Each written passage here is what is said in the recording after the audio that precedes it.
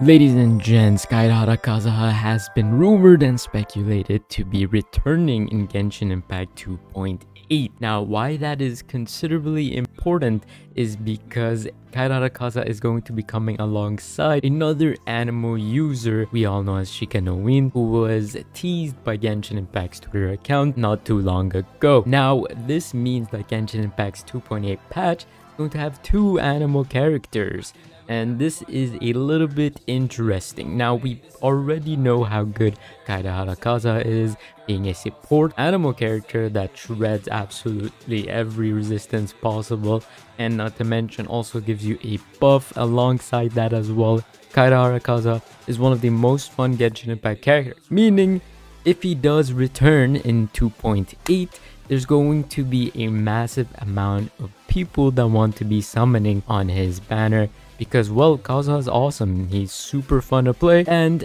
not to mention he is really really powerful now because of his superb performance and gameplay that means people are going to be summoning for him. And does that mean that Shikanoin is going to be summoned on or not? I'm not quite sure but I personally am really excited for his arrival to Genshin Impact and I'm going to be summoning on him as soon as possible. Not only is he an Anemo character, but he is also going to be around the same time as Kaedehara Kazuha, going to be a fun, fun time. Now, I think he is going to be as good as Kaedehara Kazuha if he was to be a support character, seeing that he might have a sword, but if he doesn't have a sword, let's say he has a claymore or something, it'd be a little bit different. However, if he has a sword, or maybe even a catalyst, he's going to be an awesome character for sure. Now, we've seen so many characters being a support. For, for example, Sucrose, for example, Kaedehara Kazuha, Venti. They're all characters that support your main DPS. Now, we've had only one character that's a main DPS in Anemo, and that is Xiao. Xiao is such an anomaly in Genshin Impact that it would make sense for them to release maybe another Anemo character that also does DPS. So what does that exactly mean?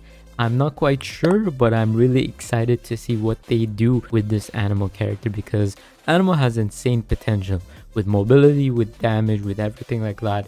Anemo has to be the most fun element in the game currently, and I cannot wait to see what they do with Shikanoin.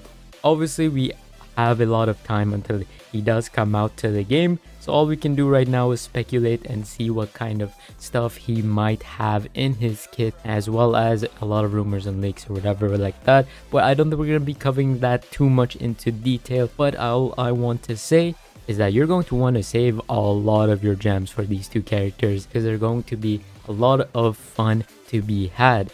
Not to mention Genshin Impact 2.8 is also rumored to have like the new islands and stuff.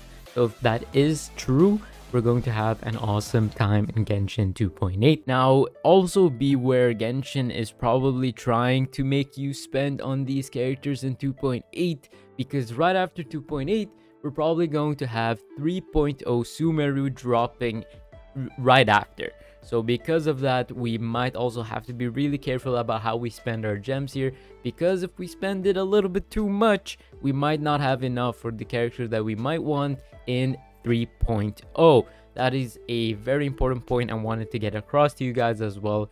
Obviously, if you like the characters, summon for them. If you can't get those characters, it's unfortunate. Hopefully, we get the reruns.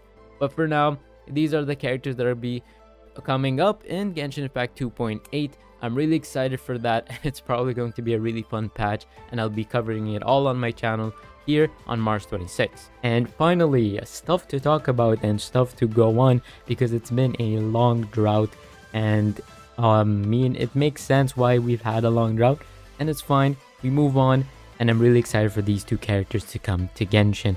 Are you excited for these characters to come into Genshin Impact? Let me know in the comment section down below. As well, like this video, as well subscribe to the channel. Help me reach a thousand subscribers. I'll see you guys in the next video very soon. Bye-bye.